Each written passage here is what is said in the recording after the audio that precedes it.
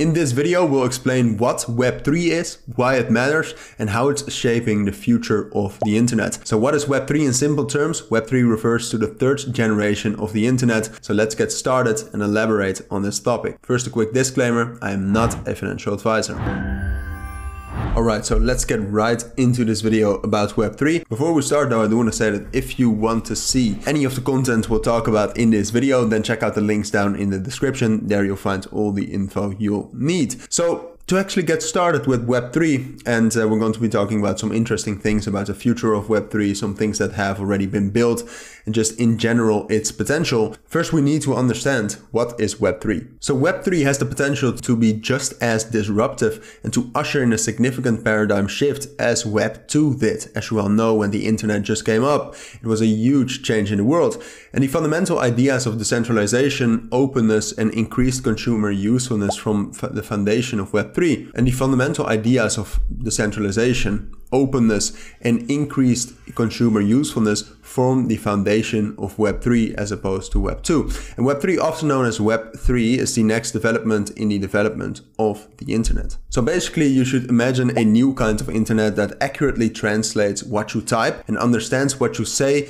whether through text, voice, or other media, and where all the content you consume is more personalized than ever before. And in the evolution of the internet, you are about to enter a new era. This era is called Web 3.0. So here you can also see some of the most important properties of Web3. It's open, so it will be built and will be developed using open source software. Apart from that, it's trustless. Everybody will use zero trust and network protection will reach the edge. And perhaps most interesting, it will be distributed. So interaction between devices, users and services will be possible without a central authority. All right, so now let's talk a bit more about the future of Web3. The world is on its way to an internet where people have complete control control over their data and privacy while also allowing companies to exploit it or not. And all of this will be made possible using blockchain technology. So as a result, Web 3.0 or Web 3, doesn't matter, they're both the same, will hasten the fair and transparent use of user data,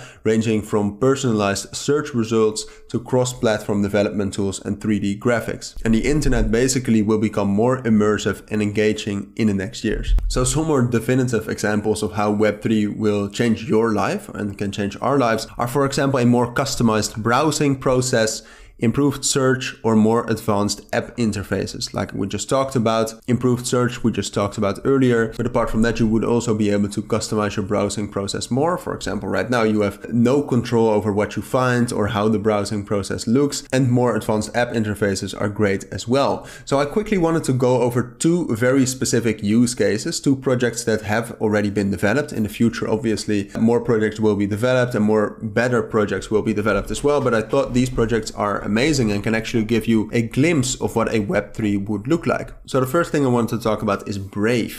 Brave is one of these Web3 browsers. So this is actually a completely built on a Web3 browser, which you can use already right now. So basically what a Web3 browser is, is that it is a browser with crypto wallet capabilities. So you also access it using your own private key. So using this browser, you are instantly connected to the Web3 ecosystem and you can also earn some tokens while using it. So another application or use case or something that has been built already I wanted to talk about with you is the Sandbox. The Sandbox is actually a metaverse. We have not talked about metaverses yet in this video, uh, but that's another use case of Web3. There are different applications of metaverses for it could, for example, be just a representation of the entire world as we know it, but it could also be a classroom where lessons will be given, where anybody can attend real time all over the world. But this project is called the Sandbox. Basically what it is, is as the name suggests, it's one big sandbox which actually allows you to have your own land in this metaverse